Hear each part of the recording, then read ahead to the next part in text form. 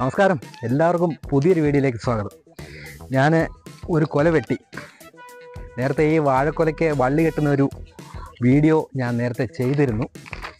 അപ്പോൾ അതിന് പ്രേക്ഷകരുടെ നല്ല അടിപൊളി അഭിപ്രായങ്ങളും കമന്റുകളും ഒക്കെയാണ് വന്നത്. നല്ല വ്യൂസും ഉണ്ടായിരുന്നു ആ വീഡിയോയ്ക്ക്. അതുകൊണ്ട് തന്നെ ഞാൻ പുതിയൊരു വീഡിയോ കൂടി ചെയ്യാമെന്ന് വിചാരിച്ചു. ഞാൻ ഇവിടെ ഒരു പത്തൊൻപത് മൂട് വാഴ വെച്ചിട്ടുണ്ട്. അപ്പം എല്ലാ വാഴയും കുറച്ചിട്ടുണ്ട് ഏത്തവാഴ മാത്രമല്ല കുറച്ച് പാളാനും കുറച്ച് ചെങ്കതളിയും കുറച്ച് പൂവനും എല്ലാം കൂടെ ചേർത്ത് ഒരു അൻപത് മൂട് വാഴ വെച്ചിട്ടുണ്ട്. അപ്പം ഈ കൃഷിയെപ്പറ്റി ഇപ്പോഴത്തെ ഒരു കാര്യം പറയാനാണ് ഞാൻ ഈ വീഡിയോ ചെയ്യുന്നത്. ഇപ്പോൾ ഞാൻ ഈ കൊല വെട്ടിയത് കൊടുക്കാൻ വേണ്ടിയിട്ടൊന്നുമല്ല. നമ്മുടെ വീട്ടിലെ ആവശ്യത്തിന് വേണ്ടി ഉപ്പേരി വറക്കാമെന്ന് വിചാരിച്ച് ഒരു കൊല വെട്ടിയതാണ്. കൊല നല്ല കൊലയാണ് വിളഞ്ഞു വരുന്നത് ഞാൻ ഇങ്ങനെ ഒരു വീഡിയോ ചെയ്യാൻ കാരണം എന്ന് പറഞ്ഞു കഴിഞ്ഞാൽ ഇപ്പോൾ എനിക്കൊരു അൻപത് മൂട് വാഴയുണ്ട്. ഈ വന്ന കാലത്ത് കൃഷി ചെയ്തുകൊണ്ട് ഒരു പ്രയോജനവും ഇല്ല എന്നുള്ള കാര്യം എനിക്ക് മനസ്സിലായി. ഞാൻ എന്റെ കാര്യമാണ് പറയുന്നത്. നിങ്ങൾ വലിയ കൃഷിക്കാരൊക്കെ വന്ന ഇതിൽ കമന്റ് ഇടും. ഞങ്ങൾ കൃഷി ചെയ്താണ് ജീവിക്കുന്നത്. ഞങ്ങൾക്കൊന്നും ഒരു കുഴപ്പമില്ലല്ലോ എന്ന് നിങ്ങൾ പറയരുത്. ഞാൻ എന്റെ കാര്യമാണ് പറയുന്നത് ഈ വീഡിയോയിലൂടെ. അപ്പോൾ ഒരു അൻപത് മൂട് വാഴ എന്ന് പറഞ്ഞാൽ കുറഞ്ഞത് എനിക്ക് ഒരു മൂടിന് അഞ്ഞൂറ് രൂപയിൽ കൂടുതൽ ചിലവുണ്ട്. അപ്പോൾ ഈയിടെ ഞാൻ ഒരു കൊല വെട്ടി. ഒരു പാളാൻ. പാളാന്റെ കൊല വെട്ടി. ഇവിടെ ഒന്ന് രണ്ട് പേരോട് ചോദിച്ചു ആർക്കും വേണ്ട. ഒരു മൂടിന് അഞ്ഞൂറ് രൂപ ചിലവ് വരുന്നതാണ് ഒരു വാഴ വെച്ച് വലുതായി കൊല ഉണ്ടാകുന്നിടം വരെ ഒരു ഏഴെട്ട് വളമൊക്കെ ചെയ്ത് എന്നിട്ട് പാളാന്റെ കൊല ആർക്കും വേണ്ട. ഞാൻ ഇവിടെ കോന്നിയിൽ ഞങ്ങളുടെ അടുത്തുള്ളതാണ്. പാളാന്റെ പഴത്തിന് മുപ്പത് രൂപയാണ് വില.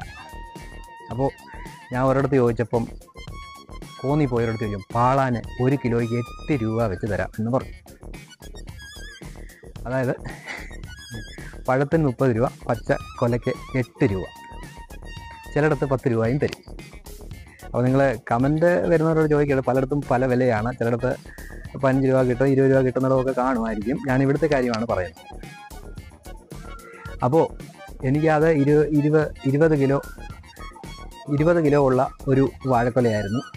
എട്ട് രൂപ വെച്ചേ ഉള്ളായിരുന്നു. പോട്ടെ പുള്ളി പറഞ്ഞത് നല്ല കൊലയായതുകൊണ്ട് ഒരു പത്ത് രൂപ വെച്ച് തന്നേക്കാം എന്ന് പറഞ്ഞു.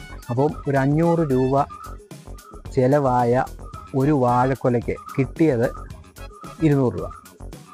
അപ്പം ഒരു അൻപത് മൂട് വാഴയിൽ നിന്ന് എത്ര രൂപയുടെ നഷ്ടമുണ്ട് എന്ന് നിങ്ങൾ വിചാരിക്കും. അപ്പോൾ ഈ വീഡിയോ കാണുന്ന പലരും ചോദിക്കും പഴയൊരു വീഡിയോയിൽ ചോദിച്ചിടാ നിനക്ക് ആദ്യം ഇവിടുത്തെ ഈ കാടുകളൊക്കെ ഒന്ന് കളഞ്ഞുകൂടെ? എന്ന് പലരും ചോദിച്ചവരുണ്ട്. തൽക്കാലം ഞാൻ ഇവിടുത്തെ കാട് കളയാൻ ഉദ്ദേശിക്കുന്നില്ല. ഇപ്പം മഴക്കാലമാണ്. ഈ മഴക്കാലത്ത് കാട് കളഞ്ഞാൽ വീണ്ടും അതുപോലെ തന്നെ കിളിച്ച് വരും.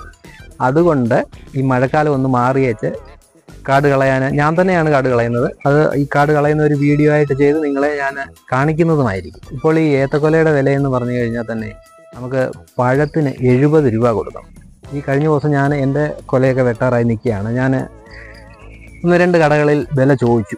നാൽപ്പത് രൂപ നാൽപ്പത്തഞ്ച് രൂപ. ഇതൊക്കെയാണ് ഈ ഏത്തക്കൊലയുടെ വില. അപ്പോൾ ഒരു സാധാരണ കൃഷിക്കാരന് എങ്ങനെ ഏത്തക്കൊല കൃഷി ചെയ്ത് ഏത്തക്കൊല അല്ല പോട്ട് വേറെ എന്തെങ്കിലും വാഴ കൃഷി ചെയ്ത് ജീവിക്കാൻ പറ്റുമോ? അപ്പോൾ ഇന്നത്തെ കാലത്ത് കൃഷി ചെയ്ത് ജീവിക്കാൻ വളരെ ബുദ്ധിമുട്ടാണ്. അതുകൊണ്ട് തന്നെയാണ് ഞാൻ ഇങ്ങനെ ഒരു വീഡിയോ നിങ്ങളുടെ മുന്നിൽ ചെയ്യുന്നത്. നിങ്ങളുടെ അഭിപ്രായം കമന്റായിട്ട് അയക്കാം. ഞാൻ എന്റെ കാര്യമാണ് പറയുന്നത്. കൃഷി ചെയ്ത് ഇപ്പോഴും കൃഷി ചെയ്ത് ഇഷ്ടംപോലെ കാശുണ്ടാക്കുന്നവരുണ്ടായിരിക്കാം. പക്ഷേ പല സമയത്തും പല വിലയാണ്. ഇപ്പോൾ വില ഇതെന്തായാലും ഓണത്തിന് വെട്ടാൻ പറ്റിയില്ല. അന്ന് ഒരു എൺപത് രൂപ വില ഉണ്ടായിരുന്നു പച്ചക്കായ്ക്ക്. ഇപ്പോൾ വെറും നാൽപ്പത് രൂപ നാൽപ്പത്തഞ്ച് രൂപയെ പറയുന്നു. ചിലയിടത്ത് ചിലപ്പോൾ അൻപത് രൂപ. കഴിഞ്ഞ ദിവസം ഞാൻ അടൂർ പോയി അവിടെ ചോദിച്ചു. അവിടെ പച്ച കൊലയ്ക്ക് അറുപത് രൂപ ഉണ്ടെന്ന് പറഞ്ഞു. പലയിടത്തും പല വിലയാണ്. അപ്പോൾ കുറഞ്ഞത് ഒരു വാഴയ്ക്ക് അഞ്ഞൂറ് രൂപ എങ്കിലും ചിലവ് വരും. നമ്മൾ കൃഷി ചെയ്ത് എത്ര വളം ചെയ്യണം? ആറ് ഏഴ് എട്ട് വളം ഒൻപത് പത്ത് വളം വരെ ചെയ്യുന്നവരുണ്ട്. അപ്പോൾ അഞ്ഞൂറ് രൂപ ചിലവാകുന്ന ഒരു വാഴയിൽ നിന്ന് വെറും ഇരുന്നൂറോ മുന്നൂറോ രൂപ കിട്ടിയാൽ ഒരു സാധാരണക്കാരൻ എങ്ങനെ ജീവിക്കും? ഞാൻ ഈ വീഡിയോ എടുത്തതിന്റെ ഉദ്ദേശം തന്നെ ഈ- വന്ന കാലത്ത് കൃഷി ചെയ്ത് ജീവിക്കാൻ വളരെ പാടാണ് നിങ്ങൾ വാഴ ചെയ്താലും നമ്മളിപ്പോൾ എന്ത് കൃഷി ചെയ്താലും പന്നിയുടെ ശല്യം ഭയങ്കരമാണ്. അപ്പോൾ നിങ്ങളെ ചോദിക്കും എടാ ഇയാൾ അത് അവിടെ മൊത്തം വേലി കെട്ടിയേച്ച് ഇയാൾക്ക് കൃഷി ചെയ്യാൻ പാടില്ലേ? എന്നൊക്കെ ചോദിക്കും. ചോദിക്കുന്നവരുണ്ട്. ചോദിച്ചോട്ടെ. കുഴപ്പമില്ല. നേരത്തെ ഇതുവഴിയൊന്നും പന്നി വന്നിട്ടില്ല. പക്ഷേ ഇപ്പോഴാണ് പന്നി വരാൻ തുടങ്ങിയത്. ഞാനൊരു നൂറ് മൂട് കപ്പ ഇട്ടായിരുന്നു. മൊത്തം പന്നി തിന്നു. എന്തായാലും വാഴയൊന്നും പന്നി എടുത്തിട്ടില്ല. പിന്നെ സ്വന്തമായിട്ട് കൃഷിയൊക്കെ ചെയ്താൽ നമുക്ക് എന്തെങ്കിലും വാഴക്കൊല കിട്ടിയാൽ കഴിക്കാം. പഴുപ്പിച്ച് കഴിക്കുകയൊക്കെ ചെയ്യാം. അങ്ങനെ ഒരു പ്രയോജനമുണ്ട്. അല്ലാതെ നമ്മൾ ഒരാളെ നിർത്തി പണി ചെയ്യിച്ച് വാഴക്കൊല കൊടുത്ത് പൈസ മേടിച്ച് ജീവിക്കാമെന്നൊക്കെ വിചാരിച്ചാൽ ഇതൊന്നും നടക്കുന്ന കാര്യമല്ല.